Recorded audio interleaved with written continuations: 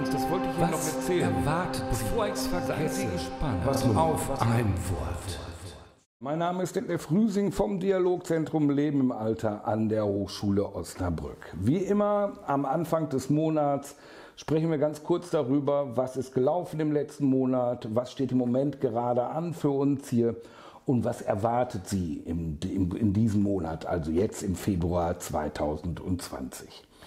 Ähm, trotzdem direkt am Anfang erstmal eine Mitteilung. Ganz wichtig, unsere geplante Dialogkonferenz vom 26. Mai diesen Jahres wird verschoben auf den 4. November diesen Jahres. Also noch einmal, nicht mehr am 26. Mai die Dialogkonferenz, sondern erst am 4. November. Warum, sage ich gleich noch etwas dazu.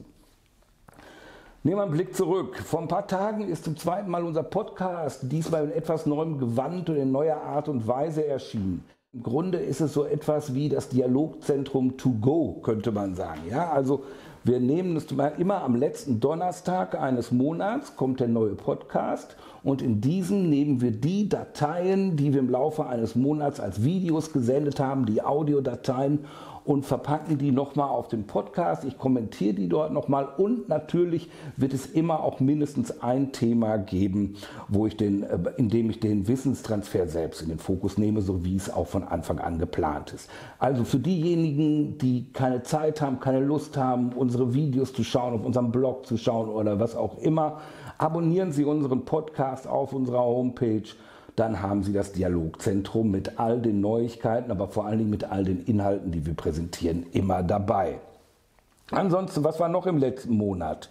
Ich schaue einmal. Wir haben einen auf die Schnelle gemacht zu herausforderndem Verhalten. Es gab eine Fallvorstellung, zu der auch eifrig diskutiert wird. Wir haben viele Rückmeldungen gekriegt zu den Fallvorstellungen, dass das gewünscht ist, dass wir das weitermachen und das werden wir natürlich. Und äh, der Kollege Müller-Hergel hat etwas zum Konzept der Rastlosigkeit, der Restlessness gemacht. Auch diese Dinge werden diskutiert. Hören Sie sich die Sachen an, schildern Sie unsere, Ihre Meinung dazu, diskutieren Sie kontrovers, all das können Sie auf unserem Blog machen. Was ist im Moment aktuell bei uns angesagt? Also, ich gehe noch mal einmal auf unsere Tagung ein. Geplant war ja eigentlich der 26. Mai und die Idee war, das Team in den Mittelpunkt dieser Tagung zu stellen.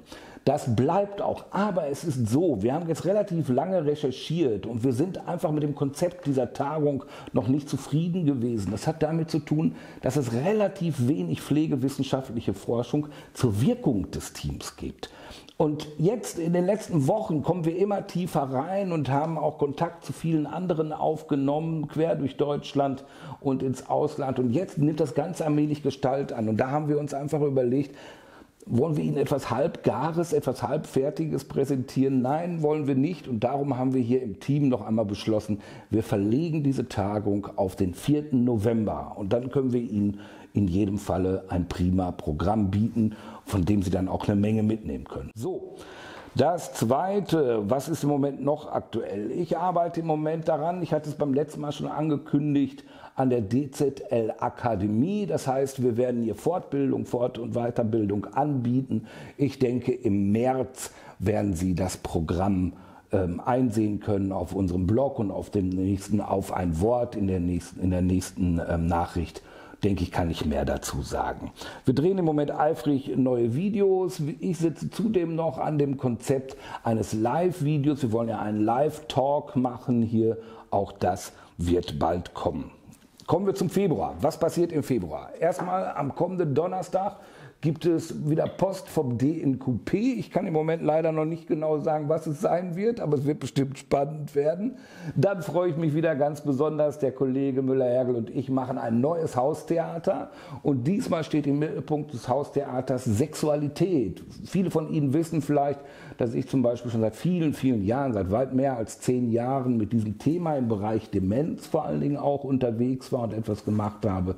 Und ähm, Christian und ich haben beschlossen, dass sich dieses Thema im Bereich der gerontopsychiatrischen Versorgung mit vielen, vielen Facetten ähm, auf jeden Fall noch einmal lohnt. Worauf Sie sich auch freuen können, es wird diesen Monat wieder ein neuer Forschungsnewsletter mit 15 neuen Forschungen, einmal Neuigkeiten zum Dialogzentrum, Neuigkeiten zum DNQP, aber als Hauptbestandteil 15 neue Forschungen. Das kommt am, ich schaue nach, ich glaube am 18., wenn ich mich nicht ganz schwer täusche, ich habe es jetzt nicht im Kopf.